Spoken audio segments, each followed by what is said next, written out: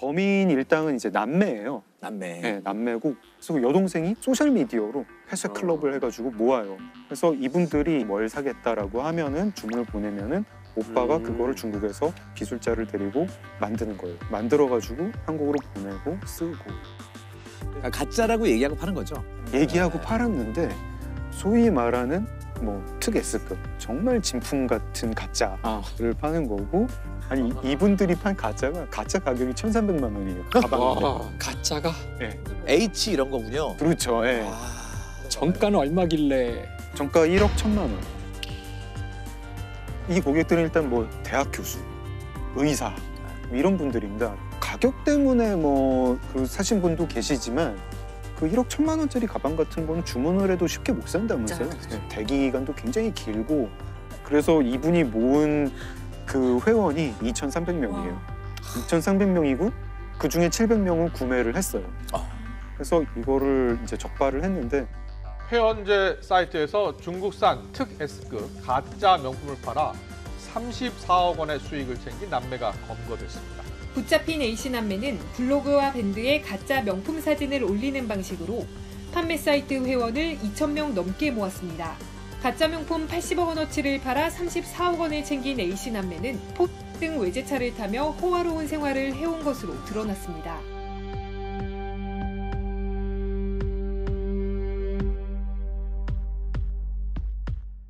근데 이런 사건 같은 경우에는 진짜 직접재 사건을 가진 그 회사가 고소를 해야지 범죄가 성립이 되는 건가요? 아니면 그냥 적발할 수 있는 건가요? 적발할 수 있는 겁니다. 네. 그 회사가 고발하지 않아도 우리가 이제 지나가다가 사실은 짝퉁 판매 업소를 보고 고발을 하면은 경찰이 수사를 하고 기소를 할 수가 있어요. 그 회사들은 이제 그런 걸 기초로 해서 손해배상 손해배상 청구를 하는 거예요. 네. 너 때문에 우리의 브랜드 이미지가 이렇게 하락했고 그걸로 수익을 봤으니까 이 정도는 손해로 계산을 해서 우리한테 배상을 하라. 민사로는 절로 민사로, 나가야 예, 된다. 예. 근데 짝퉁을 만드는 건 분명 범죄인데 네. 짝퉁인 거를 인지하고 구매하는 거는 범죄인가요, 아닌가요? 아 구매하는 건 범죄가 아닙니다. 아, 구매하는 거. 네, 짝퉁은 사는 사람은 처벌을 받지 않아요. 그래서 우리가 좀 약간 좀 죄의식이 없죠. 자기 이거 사는 걸로 인해서 피해자가 있다는 생각을 잘 못해요. 그냥 가벼운 마음으로 짝퉁을 샀다고 생각을 하는데 사실은 범죄 조직의 수익이고 그 조직이 어디서 성매매 업소 만드는데 투자를 한 셈일 수도 있습니다. 네. 이게 그냥 수요 없어지면 싹 없어질 만한 범죄거든요. 그렇죠. 수요가 있으니까 수요 때문에 공급이- 생기는 범죄잖아요. 네. 제가 오늘 낮에 그 압수 물품 그 컨테이너 다녀왔는데 이런 것도 가짜가 있나 싶을 정도로 정말 정말 그냥 생필품 우리 쓰는 거 그런 것도 가짜가 많아요. 어, 여기가 그러면 이제 압수 물품 놔두는 그런 예, 예, 동원 창고입니다. 와. 이게 이렇게 있으니까 되게 좀 기묘하달까? 사실 이제 이 제품은 네. 그 아울렛에서 판매했던 거거든요. 이거 사는 분은 그러면 진짜 이게 진짜인 줄딱 알고. 진짜인 줄 알고 거겠죠? 예, 예, 그렇습니다. 이런 그라인드도 아 공업용 그라인더 네, 네, 이 가는 거요. 그렇죠, 그렇죠. 네네네. 깨져요. 그렇죠, 그렇죠. 음. 깨지면 네, 쓰면 나- 돼요, 이렇게. 막 돌아가다 날아가가지고 눈에 들어가고 막 예, 예. 아, 마스크도 짝퉁 있어요. 짝퉁인데 검정필 네. 한국 산업안전공단 검정필 획득 이거는 한, 한참 이 코로나 마스크 모자랄 때 아, 할때 그 신고가 들어와가지고 이게 그 대란이 일어났었던 그 물건. 이야. 그래서 만들자마자 인기 끈다 싶으니까 바로 그냥 또 짝퉁을 만들고 참. 아니 근데 이렇게 뭐 말씀만 듣다가 물건을 보니까 진짜 짝퉁 규모가 어마어마하다. 그러니까 저는 이게 꼭 명품보다는 뭔가 신용과 브랜딩이 된 제품은 짝퉁이 나오는 것 같아요. 그쵸, 그쵸. 네. 왜냐 그걸 그 이름 보고 다 사니까. 그런 걸 보여주는 사건이 있는데요. 2015년에 검거가 된 사건이고 천삼 위조 사건입니다. 청산 천삼 네. 인삼 인상 같은 거예요? 이게 이제 홍삼의 네. 등급인데 최고급 최고급. 최고급. 홍삼을 따로 이제 천삼이라고 브랜딩을 해서 팔아요. 파는데 제가 어제 인터넷 쇼핑몰 가가지고 천삼 얼마인가 보니까 요만한 거 600g짜리 한 통이 300만 원이에요. 와. 중국 관광객들이 굉장히 좋아하고 이게 이제 짝퉁 판매업자, 짝퉁 제조업자 입장에서 보면은 아 이거 짝퉁 만들면 정말 큰 돈을 벌겠다 싶잖아요. 네. 그러면은 중국의 이 짝퉁 제조업자들이 어떻게 하느냐 이런 경우에 어떻게 할까요? 어차피 상 봐가지고 모를 것 같고요. 일반인들은 그러니까 웬만한 전문가 아니면은 그 인증서라든가 이런 그렇죠. 걸 도용해 그렇죠. 그뭐 아주 그거를 이 짝퉁 조직이 어떻게 하냐면은 한국의 인삼 회사에서 그 인증서랑 포장지를 만드는 회사가 있잖아요. 네. 그 회사 사장님을 포섭을 합니다. 아 포장지 만드는 기계랑 정품 인증서 만드는 기계를 한 대씩 더 만들어. 정품 인증서를 수만 장을 만들고 그 만드는 기계를 인천항에다가 배에다 실어요. 배에다 싣는데 그날이 일요일이었대요. 네. 그리고 이제 이 판매 조직 입장에서는 제조 조직 입장에서는 다 끝난 거잖아요. 내일 중국에 가서 기계 열심히 가동해가지고 포장지로 포장해서 팔 일만 남, 남았다 이렇게 생각을 하고 강원도에 별장에 가가지고 파티를 엽니다. 파티를 열고 내려오다가 특사경에 체포가 돼요. 피의자가 저기 출국하기 전에 네. 뭐 자기들만의 그 파티를 한다고 거기 별장이 있는 곳에 네. 우리 저희가 또 추적을 해가지고 일당을 검거한 사례인데요. 그 하루 정도만 늦었으면 아마 선적이 됐을 거예요. 중국으로 어. 가는 배에 실리려 했는데 네. 마치 딱 그 전날 영장이 나오시, 나온 거예요. 지금 생각해 보면 그 포장지하고 그다음에 증명서 네. 이런 것이 나갔으면 상당히 그 업체는 큰 타격이 있었을 거라고 생각합니다. 보통 홍삼을 최상품인 천삼으로 둔갑시켜서 시가 650억 원 상당을 중국에 유통하려던 일당이 적발됐습니다. 이들은 가짜 천삼 이주에 필요한 인증서와 포장지, 포장용 기계 등을 중국으로 가져가기 위해 임시 보관해오다 특거청 특별사법경찰에 덜미를 잡혔습니다. 지금까지는 근데 뭐 이제 소비재였고 어떻게 보면 좀 뭐 귀엽다? 뭐 이런 사건인데 짝퉁 때문에 안전에도 굉장히 위험을 많이 이렇게 입을 수 있는 아, 약 같은 거? 먹는 약 같은 거. 이 제 제일 큰 문제는 처방을 받았는데 가짜 약을 사게 되는 경우죠. 와. 네, 이제 그럼 기본 유정 유통시장에도 뿌려져 있다. 기본 유통시장에 엄청 많이 뿌려져 아, 있고 엄청 많이 네, 엄청 많이 뿌려져 있고 아예 그걸 노리는 가짜 약이 나오는 게 네, 예. 이건 무서운 얘기네. 네.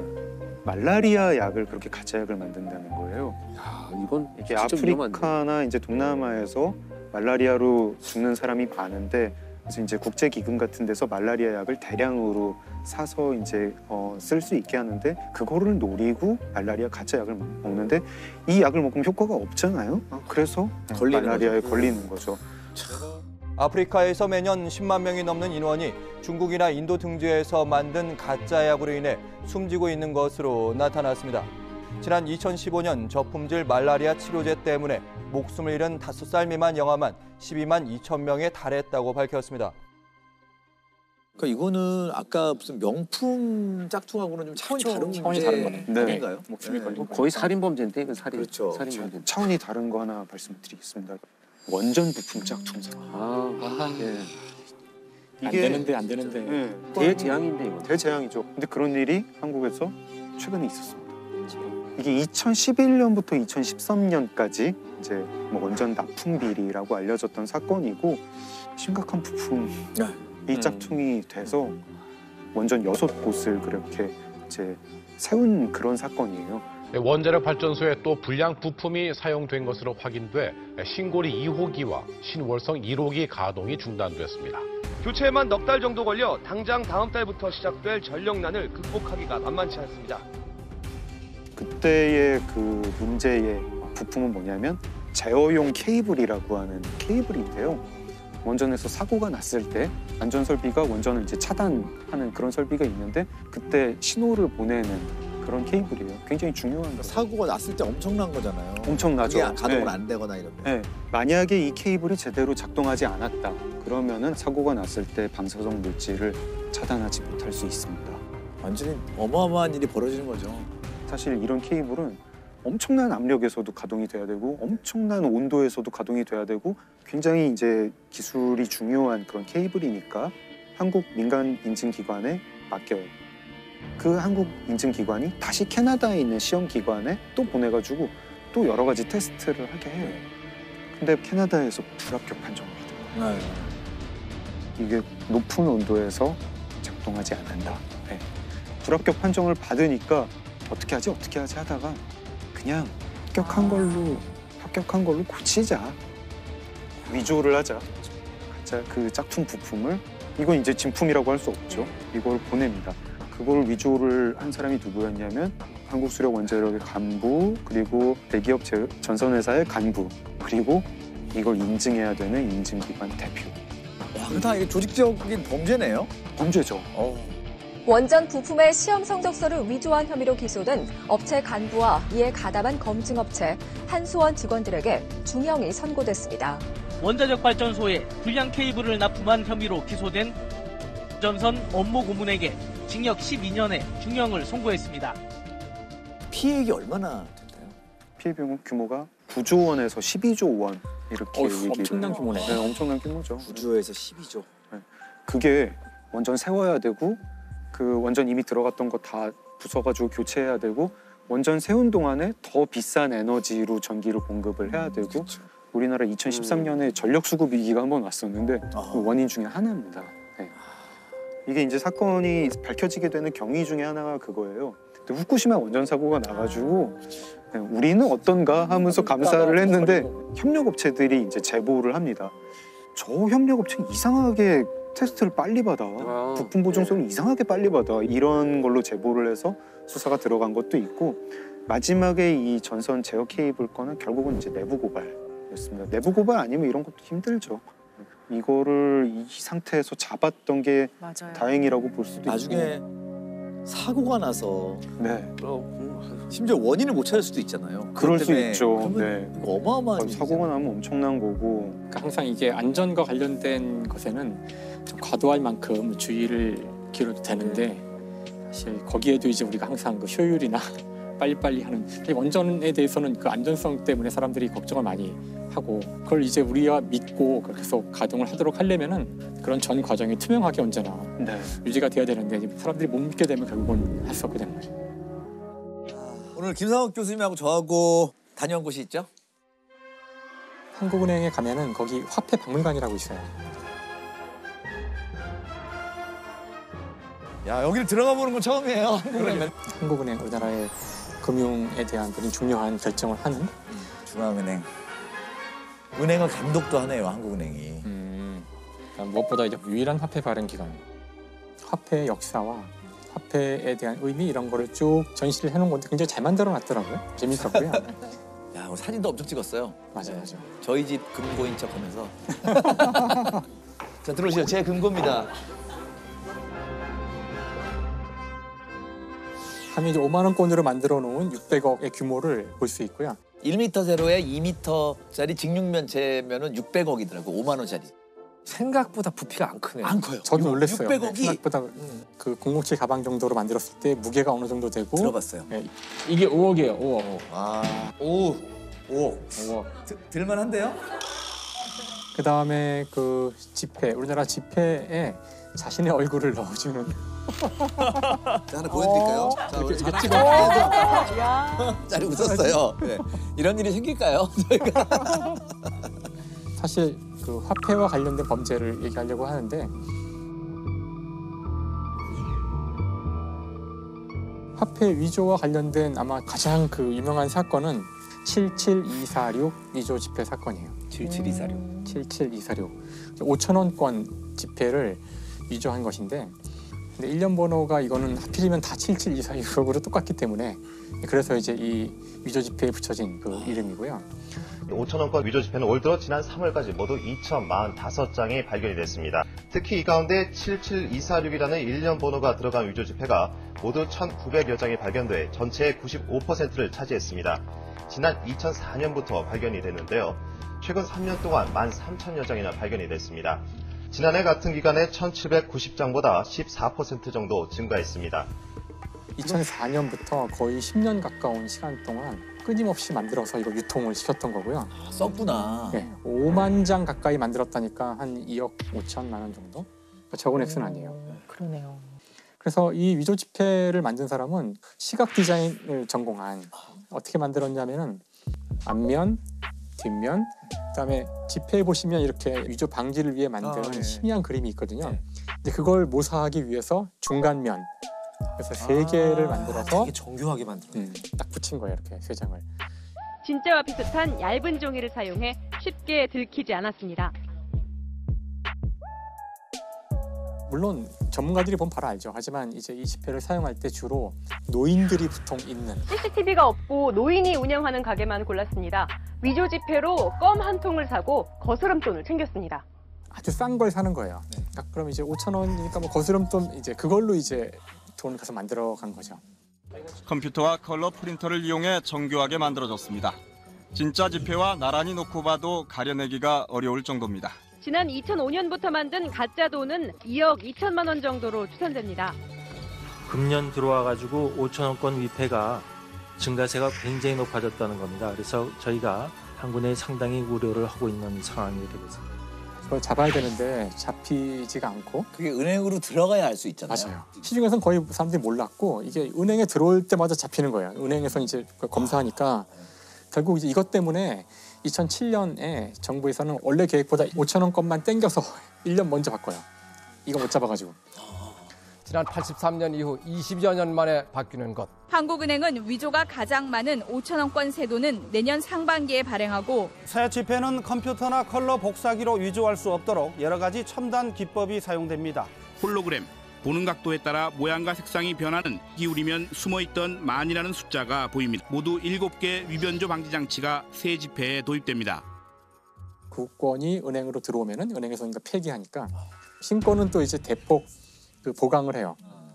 하지만 이 사람은 계속 위조 지폐를 찍고 있었고 국권을 만들고 있었고. 네, 국권이죠. 바꾸긴 쉽지 않으니까. 사실 5천 원짜리를 김 씨가 선택한 이유도 만 원짜리에는 충분히 많은 그 방지 기능이 있어서 너무 어렵고 잘 아는 사람이군요. 그다음에 천 원짜리는 해봤자 마진이 안 된대요. 그죠? 노력 원가가 원가가 어, 이 사람 아니더라고요. 되게 주도하는 사람이네. 그래서 5천 원권을 했다는 거예요. 그러니까 바뀌었다고 금방 바꿀 수는 없는 거죠. 근데 이제 점점 점점 국권이 줄어드니까 사용하게 될 때 위험성이 높아졌죠. 그래서 전국을 다니면서 쓰기 시작한 거예요. 8년에 걸쳐서 구형 5천원권 4만 5천 장을 뿌렸는데 결국 구멍가게 주인에게 덜미가 잡혔습니다. 뭔가 사가면서 돈을 내고 간 사람이 있었는데 신기해서 이제 따로 놨던 거예요. 그냥 아, 아무 생각 없이. 근데 또 우연히 그때 자기 지인도 야 요즘에 내가 뭐 하나 지폐가 생겼는데 이 봐봐 이게 두껍고 되게 신기하지 않니? 하면서 아니 그 위조라고 생각하지도 생각한 않고 건 그냥 아니고 신기하다. 위조 지폐 볼 기회가 국권이네. 없죠 잘. 근데 그걸 두 개를 딱 봤더니 거기 이제 77246 어, 똑같은 똑같을 수는 없거든 어, 번호가. 그렇군요. 인증 번호가. 그래서 어 이거는 위조 지폐구나. 응, 위조 지폐구나. 그래서 그거를 붙여놓고 6개월 가까이 이상한 사람이 워낙 이렇게 봤다고 하더라고 놀랍게도 이 범인이 이 집에 다시 오게 된 거예요. 다시 온 거예요.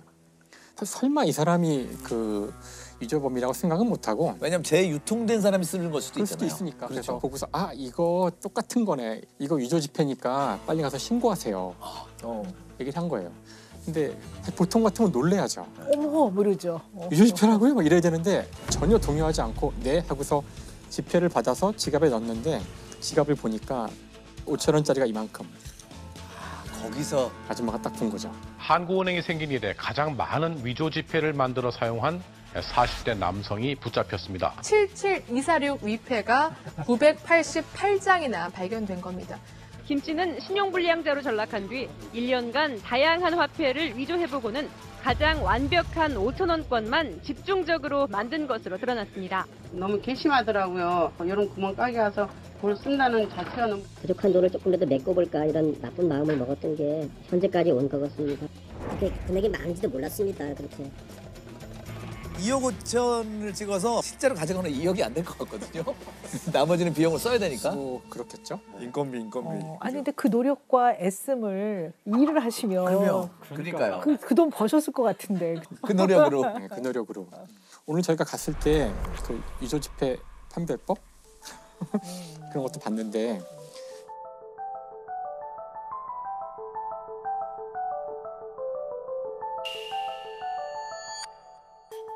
5만 원권만 집중해서 이야기를 해보면 네. 눈에 두드러지는 특징은 여기 이 두 군데에 있는 홀로그램이죠. 각도에 따라 보이기도 하고 보이지 않기도 하고 특히 이 가운데에 있는 이 은색 선은 입체 모양이라 이게 이렇게, 어, 이렇게 그러네요. 움직일 때 네. 다르게 움직이거든요. 네. 그다음에 여기 희미하게 이제 신사임당 얼굴이 네. 보이거든요. 각도를 바꾸면 빛을 비추면은 이렇게 봐도 보이고요. 이거는 이제 아까 그 위조범은 위조했던 거죠. 세 겹을 띄워 넣어가지고 이 뒤에 이 5만이라는 숫자는 각도에 따라 색깔이 바뀌거든요. 아 그렇네요. 네, 바뀌고요. 뭐 5만 가지가 들어 있고요. 이런. 장치라든가 알았네. 그다음에 우리 눈엔 보이지 않는데요. 이걸 자외선에 넣었을 때만 보이는 패턴들이 있어요.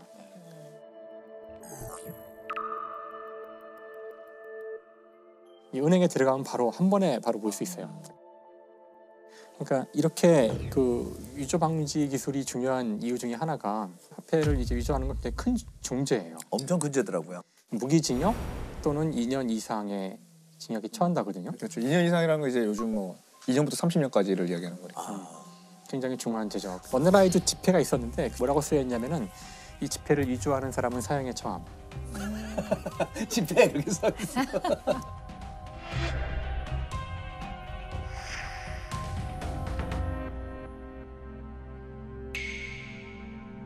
그 집회를 마음대로 만드는 것이 국가의 근간을 흔들 수 있기 때문에. 이제 실제로 이제 전쟁이 벌어지면 적국의 위조 집회를 만들어서 뿌리는 게 아주 흔한 일이었어요. 혼란, 혼란을 혼란. 가지기 위해서. 독일군이 2차 세계대전 때 영국을 상대로 벌였던 이제 베른하르트 작전이라는 게 있어요. 그 작전은 1942년에 이제 시작된 건데 화폐를 만드는 그 전문가들을 유태인 수용소에서 차출해 가지고 작센하우젠 수용소의 19구역에 그 전문가들을 모아요. 그다음에 파운드화를 만들어서 원래 계획은 그거를 같이 뿌리는 거예요. 비행기로. 왜냐면 그 지폐를 많이 만들긴 했는데 이 작전이 시작됐을 때쯤에 벌써 제공권을 벌써 독일군이 거의 상실했기 때문에 이 지폐를 결국 그 뿌리지 못하고 각종 작전에 사용해요. 그 외국에서 활동하는 스파이들이라든가 아니면 외국에서 구입해야 되는 것들은 가서 파운드화를 완벽하게 위조한 걸로 사오는 거죠. 잘 만들었나 보죠, 되게. 아, 당연하죠. 독일의 기술력이 국가가 하는 거니까 전쟁이니까 참 안타까운 거죠, 사실. 그래서 이때 만들어진 이 파운드의 양이 거의 10조 원에 달하는 양을 만들었대요.